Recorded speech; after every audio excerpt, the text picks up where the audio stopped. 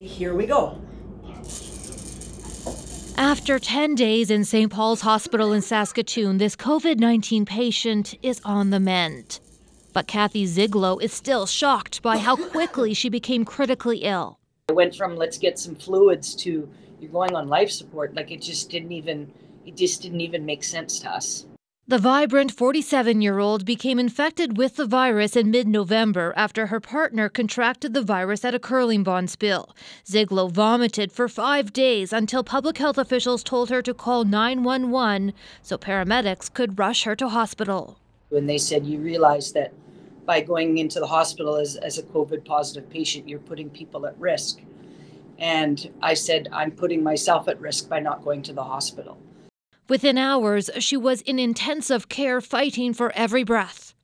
I breathed and I counted and I breathed and I counted. And I got to a point where we didn't have to intubate because I knew once I got to that point, I had lost, I would have lost all control.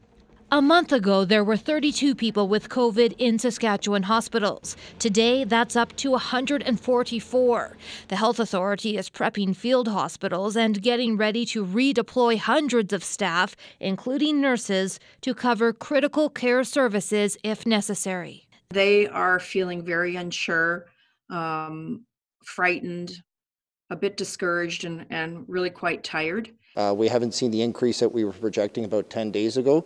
So the regular the restrictions that we have in place right now seem to be working. They gown up and then they come into the COVID zone. Ziglo is in a secluded room visited only by nurses and doctors in full PPE. They, they do, do not get the credit that they that they so so much deserve. Now doing much better, Ziglo hopes to get released from hospital by the end of the week. Bonnie Allen, CBC News, Regina. Get a few steps in, and then um, back here uh, is my is my bathroom.